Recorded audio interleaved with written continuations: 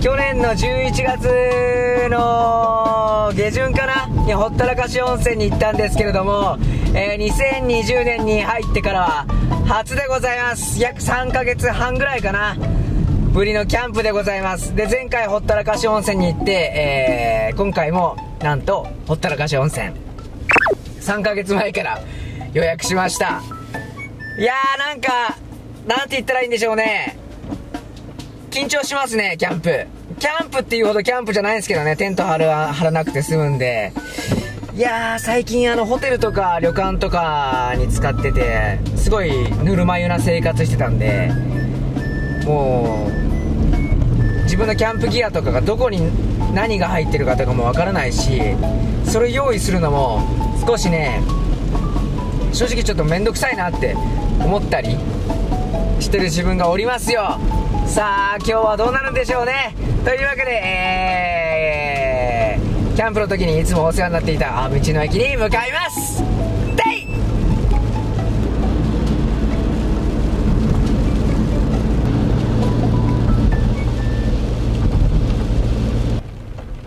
はい道の駅着きましたけども霧がひどすぎて何も見えないはい着きました。雨が。これ今日止まないのかな。前回も確かこの位置に車止めましたね。ではなんか今日ねすごい眠いんすよ。眠れる気がする。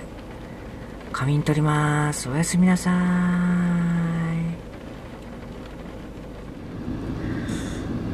ああ寒いおはようございます朝9時過ぎですね。眠れました。4時間ぐらい出てしまいましたね。ただ寒かった。そして当たり前のように雨なのやめれ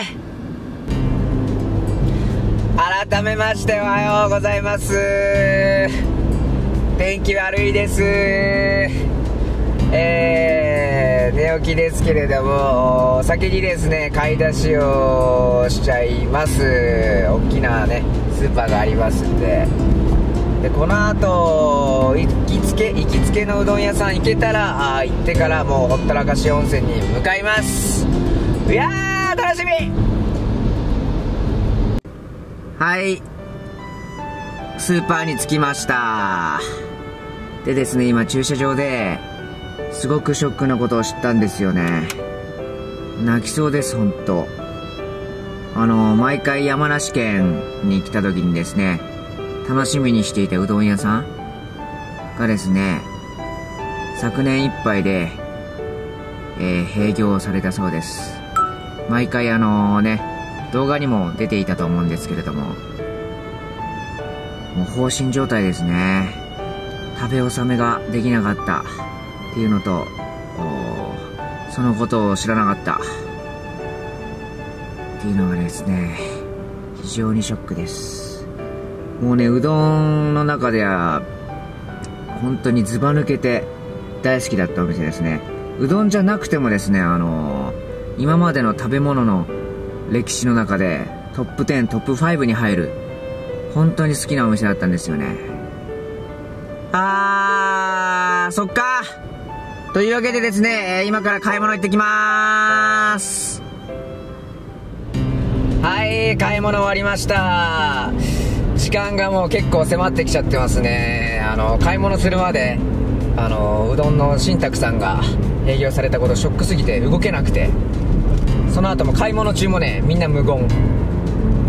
で、お腹空いてるし、どこで食べようって思ったんですけど、あのー、時間もないんでスニッカーズを買ったんですよ。100均でね。そしたらそれがものすごくうまくて。いやーこれね新宅さんに代わる何かを見つけた感じがしましたね、えー、というわけでですねもうちょっと今から向かっちゃいます。ほったらかしません。行きましょう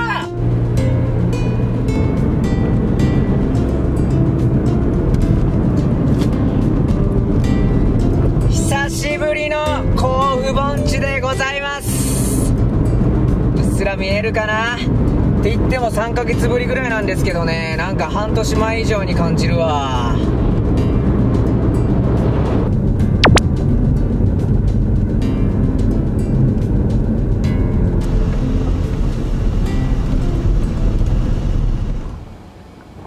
はい、着きました。では、いつものアイスを食べに行ってきます。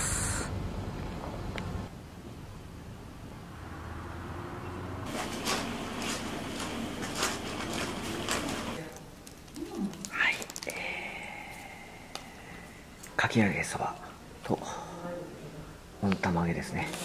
ちょっと曇っちゃった。いただきます。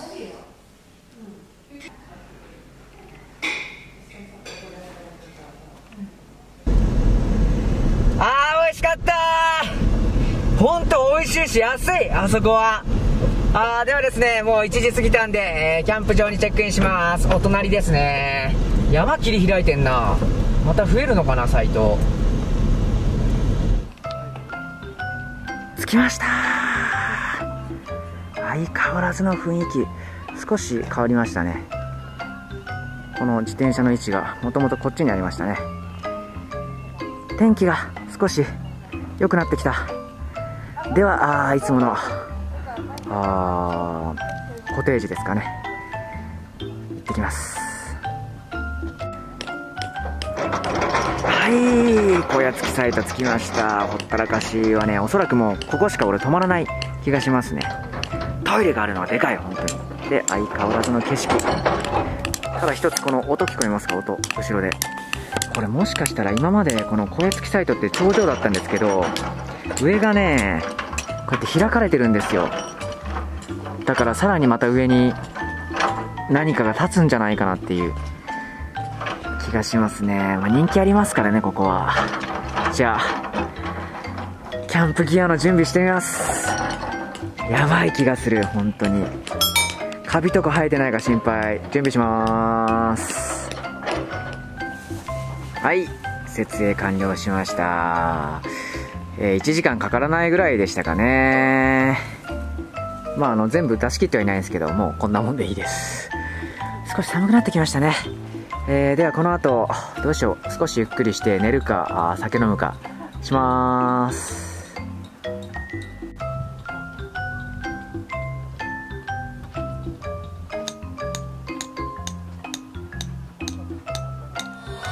はい、えー今ですねあのいずれちょっと車中泊に移行したいなという思いがありましてこの車を使って車中泊できないかなと思いまして後部座席を広げて倒してで枕元ですね頭のところが空いてしまったのでエアーベッドに今空気を入れて無理やり空間を作ってるところですね。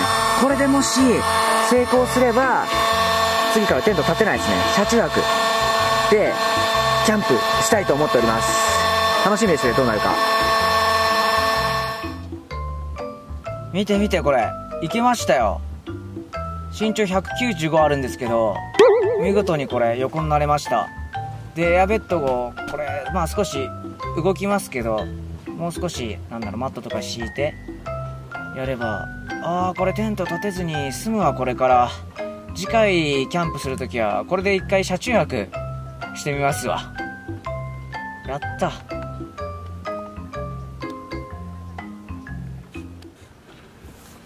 なんやかんやバタバタとしてますがあまだ午後3時ぐらいですね。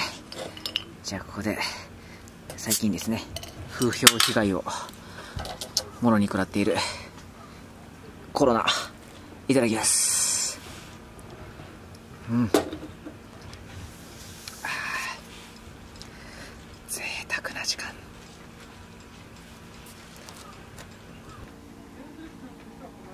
あー。やはり好きですわ。ほったらかし温泉キャンプ場。本当に好き。ではこの辺でですね少しゆっくりしてこの後、まあ寝ちゃうかもしれないんで、えー、後編ですね。後編は温泉に行ってから晩飯ですね。の時間というような流れになりますので、えーよかったですね。また後編後日アップしますので、えーそちらも合わせてご覧くださいませ。では前半はこの辺で失礼させていただきます。よかったらチャンネル登録、高評価よろしくお願いいたします。では後編でバイバイ